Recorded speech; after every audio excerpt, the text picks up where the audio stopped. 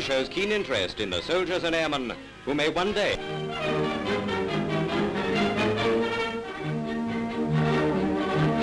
For well over 200 years, Britain's mighty fortress at the entrance to the western Mediterranean has been one long story of continual refortification.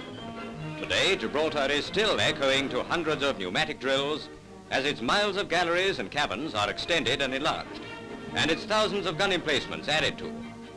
Day in and day out, the living rock is hewn and blasted away for yet more guns. Shoulder to shoulder work the men who man the guns and the men who honeycomb the mountain for new emplacements.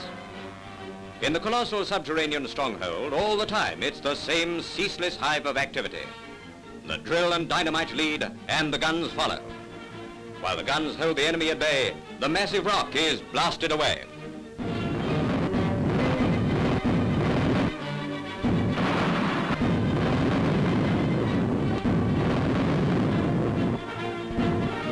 Several desperate efforts have been made in past centuries to take the rock from Britain.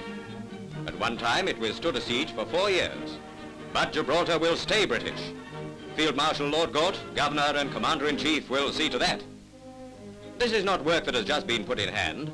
It has been going on for centuries, growing from strength to strength, until today it will ably withstand any attempt the Nazis may make. There are sufficient supplies at Gibraltar to meet a long siege without revictualling.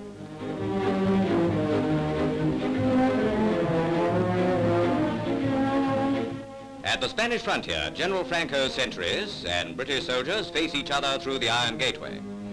The design of the Spanish steel helmet seems familiar.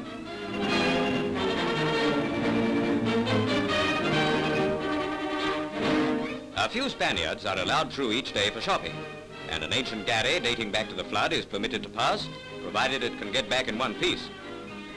Catalan Bay is quite a holiday resort for the lads off duty.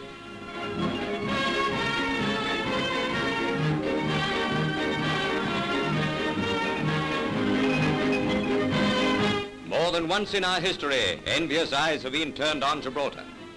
And now an Austrian paper hanger wants to bash his head against the rock.